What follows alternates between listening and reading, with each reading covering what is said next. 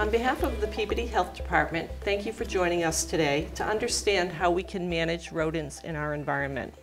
My name is Sharon Cameron. I'm the Director of Public Health for the City of Peabody. And with me today is our Code Enforcement Inspector, Bill Pasquale, and our Sanitary Inspector, John Yale. And these are the folks who would be responding to any complaints that you might have with the Health Department.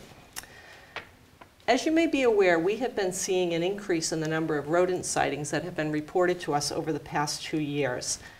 This is not just a Peabody issue. I meet routinely with health directors throughout the North Shore, and most communities are experiencing a similar increase in rodent sightings. In fact, this is actually a national issue. Why is that the case? Rodents share our environment. When they're deciding where to live, they look for the same things that we look for.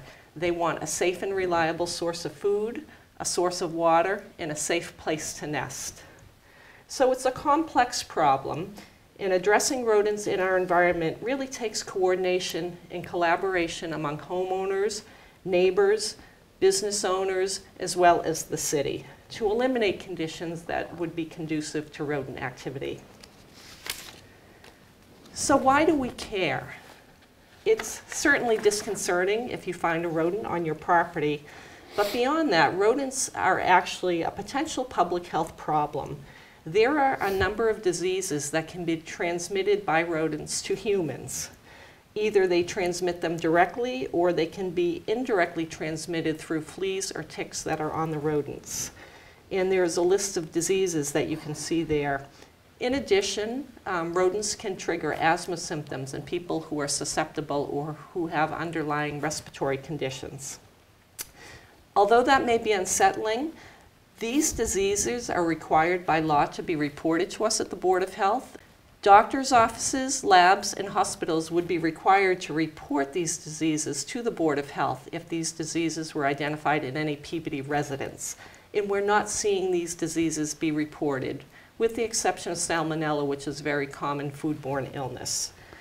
So although we're not seeing diseases being transmitted in Peabody from rodents, there's always the potential. So it's very important that you take precautions if you identify any conditions that you think might show a rodent infestation in your home. For instance, if you see food packaging that's been chewed, you want to throw that food away. Um, if you see droppings or if you maybe even see a dead rodent, it's important to remove that safely. You want to protect yourself by wearing gloves.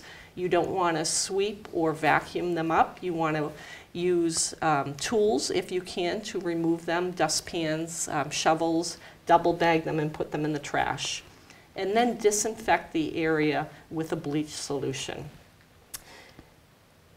But I want to focus today mainly on prevention because there's quite a bit that homeowners and residents can do to prevent rodent activity on their property. And that's really going to be the focus of our discussion today. So John, can you give us some background about the type of rodents we're seeing? Sure. So um, the complaints we're receiving uh, most recently are uh, involving the Norway rat. So two rodents that we think of typically are rats and mice. The uh, Norway rat is quite a bit larger than a mouse. It, it can weigh up to a pound, where a mouse would only be about an ounce and a half. Also, the, um, the rat is distinguished by smaller ears than a mouse. A mouse would have larger ears in proportion to its body. The uh, Norway rat also has a blunt nose. So um, we're talking about the complaints. Typically, they're uh, outside complaints, and um, the, the rats readily live in the environment close to a food source. And um, their, their range is quite small. They're, they're going to range 50 to 100 feet. Um, and they're quite prolific. They'll, they'll breed um, continuously all year long, and they'll have up to eight litters a year. So one female might produce uh, 20 pups on a typical year. They're also uh, uh, social animals where the dominant rats will be feeding at night, and the subordinates will mostly have to feed during the day, which isn't um, their norm. Um, so if we're seeing rats feed during the day, it might be because the population has increased in a certain area. So I wanted to just give you an overview of what we're seeing in terms of complaints throughout uh, the city. You can see that um, we've received complaints in every ward of the city, and the orange bar will show, um, that was last season, 2017, and you can see we had a significant increase in the number of rodent complaints um, than the prior year. Now, the last bar is 2018, and of course, we're just coming into the summer season, so that's not a complete year, but you can already see that this trend of increased number of sightings seems to be continuing. And if you look at the map, again, we are seeing complaints throughout the entire city. Um, we tend to see more complaints in the more densely populated area of the city, and that's not surprising, again, because rodents like to share our food sources, and so it, this is a typical pattern. The more dense the area, the more likely you are to have complaints. I wanted to talk you through our complaint protocol. We do have a formal system for receiving complaints. So the first step is to call the health department and put your complaint on the record with us. And we're going to ask you some questions about, you know, what you observed, where you observed it, dates and times. Um, as much information you can give us will be helpful when we send the inspectors out in the field. So after we receive the complaint, then I will assign it to one of the two inspectors, and they will go out into the field as follow-up. And Bill, can you talk us through what the next step of that process is? One of the first things we do as inspectors, that once we get a complaint, is to go out to the actual neighborhood where the complaint came from. And we have a, um, a brochure or a pamphlet that was developed by the North Shore uh, Health Department. As Sharon said, they meet all the time, and they've developed a uh, informational packet on rodents. And in this particular packet, we go to each house and we, we leave these off uh, for the homeowners, and it has some suggestions on how to keep your property clean, uh, not to have too much clutter in the backyard, um, different suggestions on uh, composting and how to seal up your house if the rodents are actually getting into your house and also what to do if you are having rodents in your area as far as trapping the rodents, um, whether or not to get a pest control company or whether you could do it on your own by going to a local Home Depot or Lowe's and buying the equipment yourself. Some of the things as we're walking the neighborhood that we're looking for are, are different reasons that the rodents might be in the area. For example, clutter. Uh, if there's a yard that's totally cluttered with a bunch of, you know, children's toys or just old wood or lumber, uh, that might be a good harborage for the rodents. Another thing we'd be looking for is any open trash. Uh, a lot of times we see trash, you know, just the bags sticking out of a barrel. Um, you know, most people, uh, you know, have barrels and the lids are lost within the first week. Either the trashmen lose them or they blow away or whatever the reason.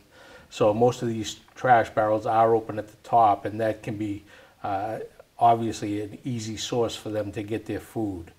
Um, another thing we would look for is any, uh, uh, the rodents are actually looking for three things. They're looking for water, they're looking for food, and they're looking for harborage. So another thing would be any water sources.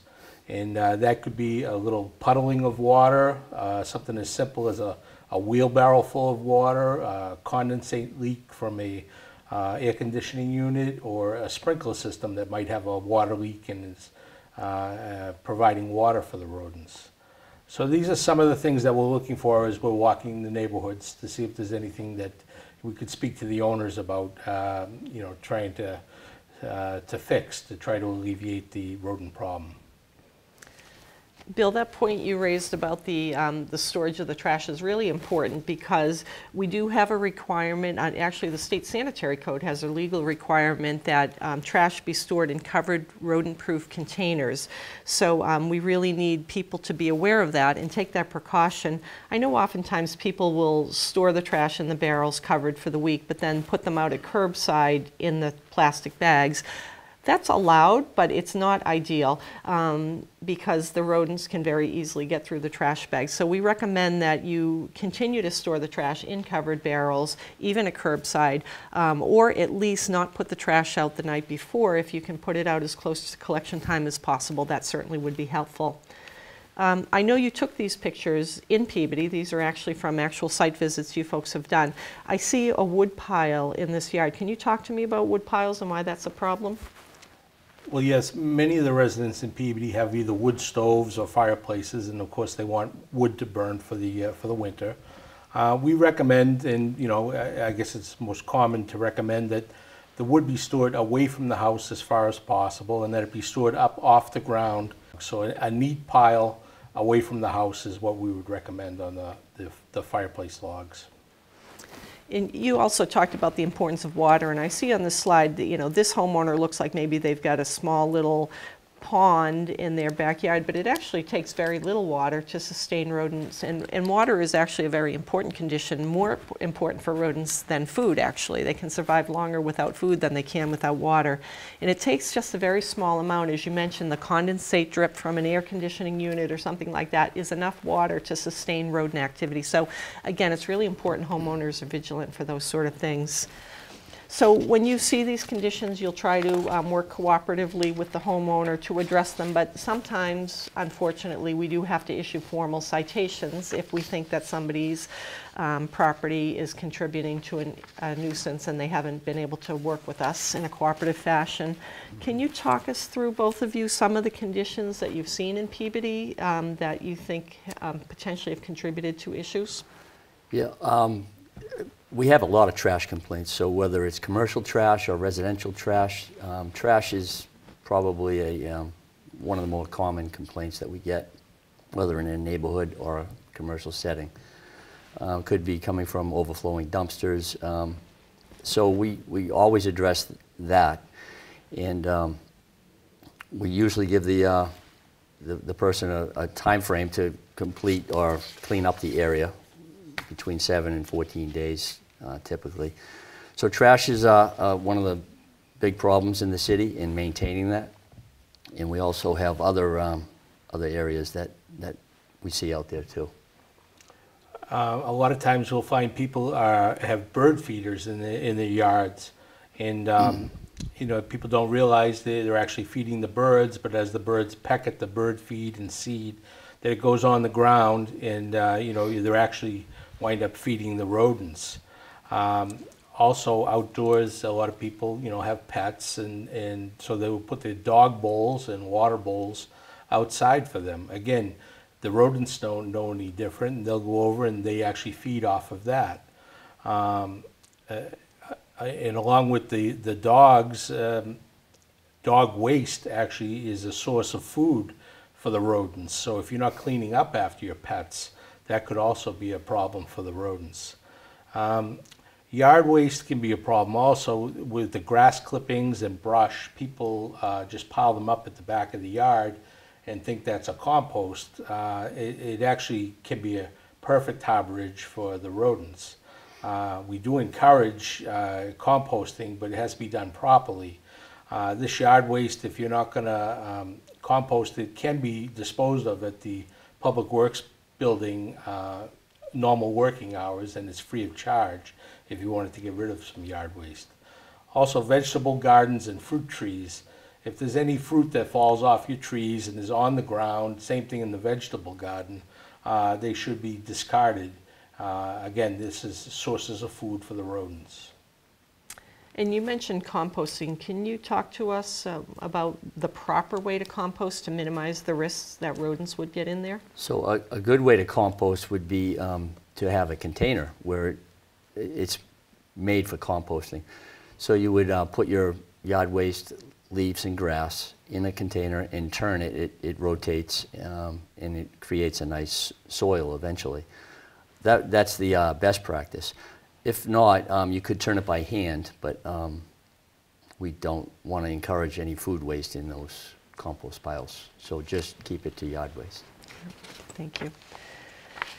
So after we've received the complaint and you've done your walkthrough and you've done the neighborhood education and you've addressed with the homeowners any sanitary conditions you've identified, um, what's the next step if we continue to have problems in the neighborhood? Can you talk us through that?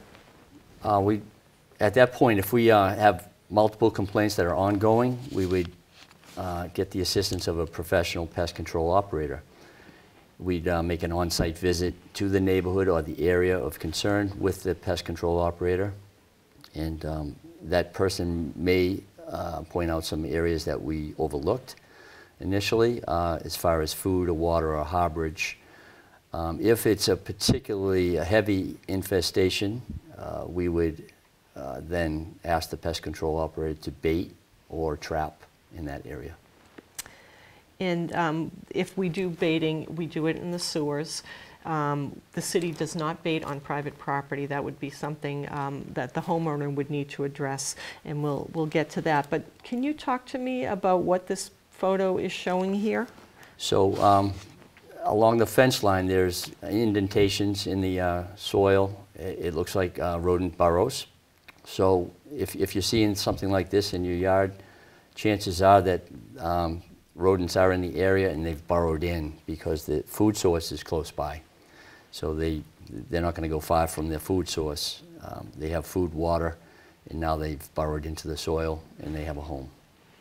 And the burrows are an area that the pest control operator may decide to treat after they've assessed the property. So Bill, can you talk to us about what um, options exist for homeowners who need to do pest control on their own properties? Okay, we recommend through the health department that you call a uh, certified pest control company to come out and, look over your property. But there are some homeowners that would want to do it themselves, and uh, you can buy a lot of the supplies from local uh, hardware stores like Home Depot or Lowe's. Um, There are rodenticides, which are, you know, it's a poison for the, for the rodents. But again, if you do buy these chemicals and traps from the hardware stores, we recommend that you follow all the instructions uh, because they can be dangerous for other animals or for small children. Uh, Rodenticides, for example, you don't just put them out on your yard uh, because birds could come and get them. There are little uh, traps and that you put the bait in, bait box stations, they call them, and the, the rodents actually go into these stations, eat the poison, and then come out, rather than just leaving them open on the ground where other animals, or again, little children or small pets could actually access them. Uh, So you want to follow all of the um, instructions. And again, we, we do recommend if people are considering applying poison, that they work with a licensed pest control company to do that. So that leads us into the concept of integrated pest management. And um, when you're dealing with a pest problem, it's not solely or even primarily about putting out poison to try to um, address the rodents. It's really about a more comprehensive approach that looks at the sanitation of the property. How are you storing food? How are you storing trash? It looks at rodent proofing your property so that you're excluding pests from your home.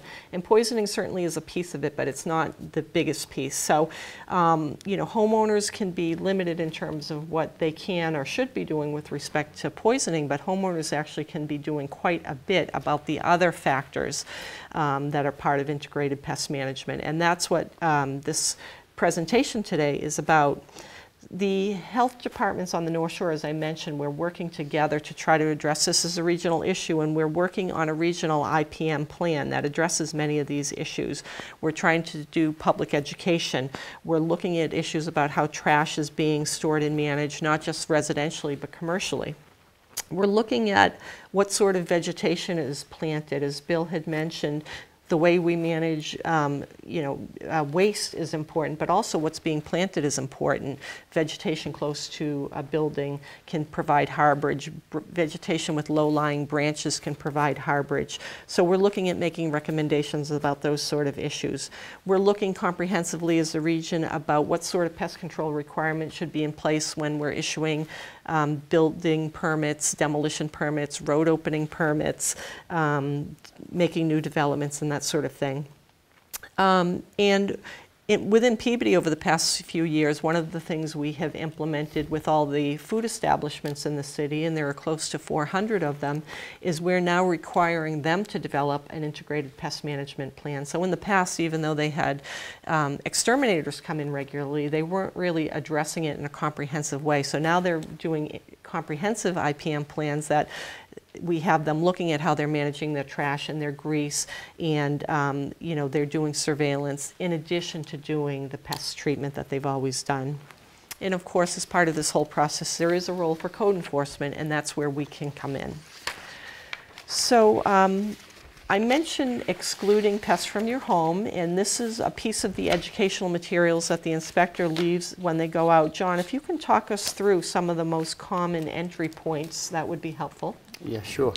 So around your home, um, it's always best practice to remove clutter. So it could be um, discarded items, uh, tires or uh, building materials, etc. So clean up the uh, outside area first and then look at your perimeter of your home.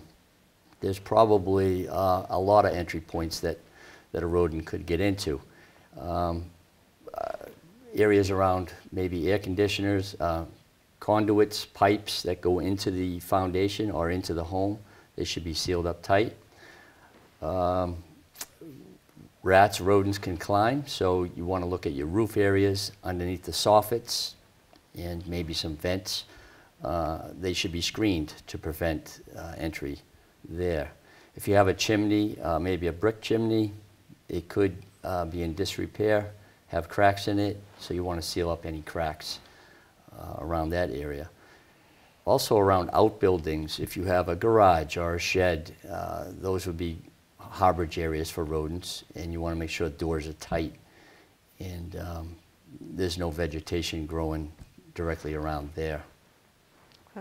I, I see on that um, paper, they, there's a black hole up in the left-hand corner. Can you talk to me about what that signifies? Yeah, so um, rodents don't need a, a big opening to get in. Uh, unfortunately, you know, a half an inch might, might be large enough. So a size of a quarter or maybe even a little less uh, would allow a rodent to get into your home.